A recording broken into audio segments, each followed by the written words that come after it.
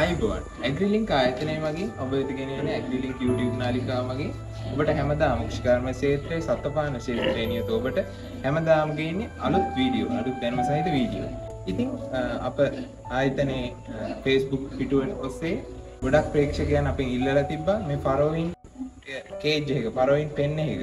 අවශ්‍යතාවය මොකක්ද මේකෙන් වෙන්න මොනවාද? මේකක් කොහොමද මිලදී ගන්න කොහොමද? ඒ වගේ කෙටි පණිවිඩ අපිට ලැබිලා තිබ්බා. ඉතින් අපි හිතුවා ඒ පිළිබඳ ඔබට වීඩියෝවක් ගෙනීමට සුදුසුයි කියලා. ඉතින් මේ වගේ වීඩියෝවක් අපි දැමූ සැනින් ඔබට නැරඹීමේ හැකියාවක් තියෙනවා. අපගේ YouTube channel එක තාමත් ඔබ subscribe කරලා නැත්නම් මේ දැන්ම subscribe කරලා bell icon එක click කරොත් ඔබට අප වීඩියෝවක් දැමූ සැනින් නැරඹීමේ හැකියාවක් තියෙනවා. ඉතින් අපි අද යමු අද දවසේ වීඩියෝට මේ ඇග්‍රිලින්ක්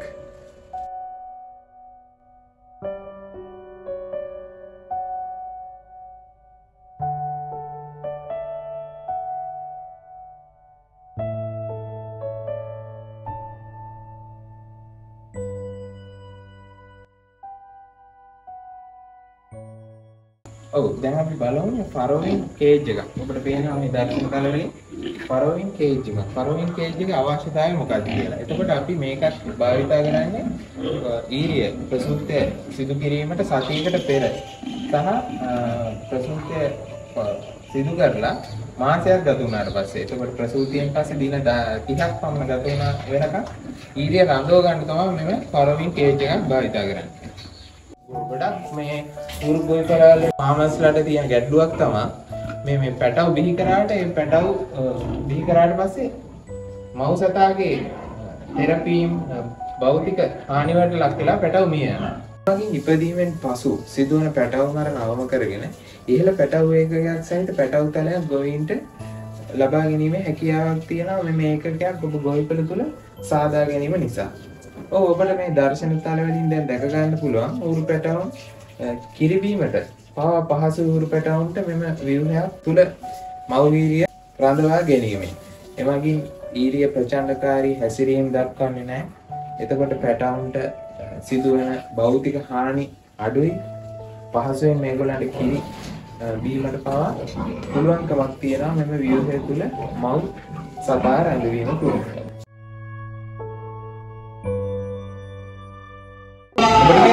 දර්ශන තලයෙන් දැක ගන්න පුළුවන්. ප්‍රසූතියට ආසන්න ප්‍රසූතිය සිදු කිරීමට සතියකට පමණ පෙර ඊරියා මේ ස්ට්‍රෙස් එක අවම කර ගැනීමට.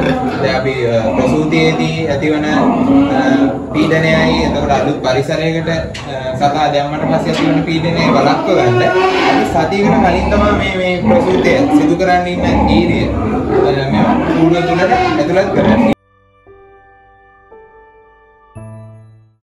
මේ ෆරෝයින් පෙන් එකක් අපිට තම ගොවිපළ කුලදීම සාදා ගැනීමේ හැකියාවක් තියෙනවා. මේ සඳහා ඔබට අවශ්‍ය වන්නේ GI බට කිහිපයක්. ඊට පස්සේ වෙල්ඩින් ප්ලාන්ට් එකක්. ඒ දිග පළලයන් නියමිත සකස් කරගත්තොත් වෙල්ඩින් කරලා ඔබට මේ මේ ෆරෝයින් පෙන් එක නිවැරදිව තම ගොවිපළ තුලදී සාදා ගන්න පුළුවන්. දැන් අපි බලමු මේ ෆරෝයින් පෙන් එක සම්මත දිග පළලයන් කොහොමද තියෙන්නේ කියලා. දිග සාමාන්‍යයෙන් අඩි හතක්වත් දිග තියෙන්න ඕන. උස අඩි තුනක්වත් ආසන්න වශයෙන් මීටරය පලල අඩි දෙකක් පමණ තියෙන්ඩ ඕන. එතකොට මොවුන්ට ජලය ලබා ගැනීමට නොසල සවි කරන්න ඕන ජලය ලබා ගැනීමට. ඊට පස්සේ කෑම භාජනයක් ඔබට මේ මෙලෙස ෆරවින් පෙන්න එකටම සකස් කර ගැනීමේ හැකියාවත් තියෙනවා. අපි දැම් බලමු මේ කොහොමද අපි සකසා ගන්න කිය. මෙම කූඩුව සැකසීමේදී මෙම රූප සටහනේ පෙනෙන පරිදි සම්මත දිග පල්ලයන් ගැනීම අත්‍යවශ්‍යයි. ප්‍රථමව නිවැරදි දිග පල්ලයන් සහිතව මෙම GI බට ග්‍රයින්ඩර් ආධාරයෙන් කපා ගැනීම සිද්ධ කළ යුතුයි. ඉන්පසු සම්මත දිග පල්ලයෙන් යුතුව එනම් දිග අඩි හතක් පමණ වනසේ පලල අඩි දෙකක් වනසේ උස අඩි තුනක් එනම් මීටරයක් වනසේ සකසා ගැනීම අත්‍යවශ්‍යයි.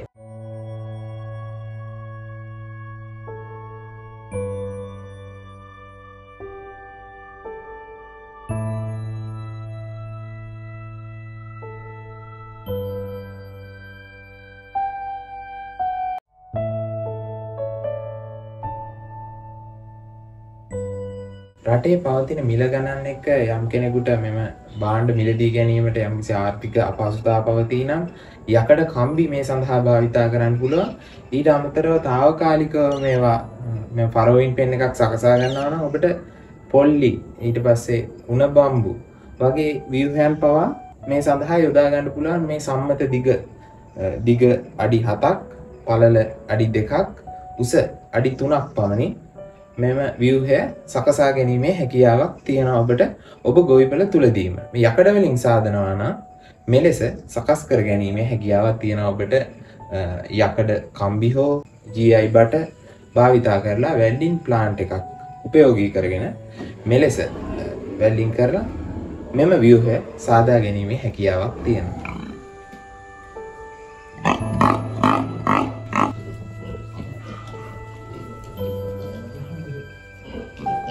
මෙම කූඩුව සැකසීමෙන් පසුව මේ ස්ථාපිත කිරීමේදී මෙම පාද හතර මෙම කූඩුවේ පාද හතරට කොන්ක්‍රීට් දමා සවිශක්තිය වැඩි වන පරිදි ගාලෙහි බිම තුළ සවි කිරීම සිදු කළ යුතුයි.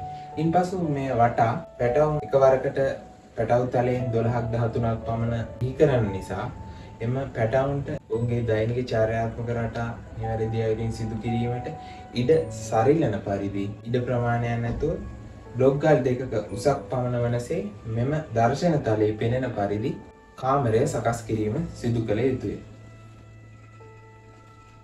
ඉන් පසු මෙම කාමරයේ බිම සකස් කිරීමේදී කෑම බක්කයේ සිට කානුව දෙසට අංසක තුනක ආනතීකින් යුතුව සිමෙන්ති දැමීම සිදු කළ යුතු අතර සිමෙන්ති දැමීමේදී කිසි විටක සුද මැදීම සිදු නොකළ යුතු අතර රලු තත්ත්වේ රෆ්ගතියට සිමෙන්ති පොළව තැබීම අනිවාර්යයි මොකද සුද මැද්දොත් මෙම සතුන්ගේ කකුල්ලට සිදුවන හානි සිදුවෙන්න පුළුවන්.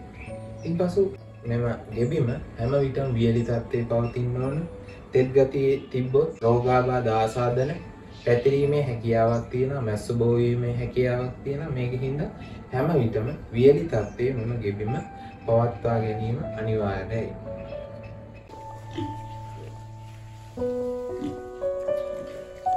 මෙම දර්ශන තලයෙන් ඔබට දැකගන්න පුළුවන් ක්‍රමක් ක්‍රමයෙන් පරිසර උෂ්ණත්වයට හුරු කරන ඌරු පැටවන් කිහිප දෙනෙක්.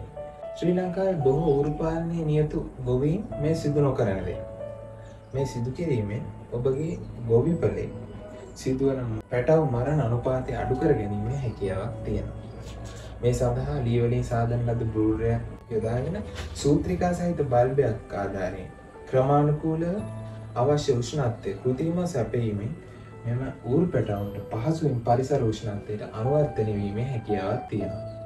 මෙසේ කෘතිම උෂ්ණත්වයක් සැපීමේ අවශ්‍යතාවය වන්නේ මෙම ඌරු පැටවුන් මෞජීවයාගේ ගර්භාෂය තුළ සිටින්නේ සෙල්සිිය සංසක තිස්සට හතලියක පමණ උෂ්ණත්වයක.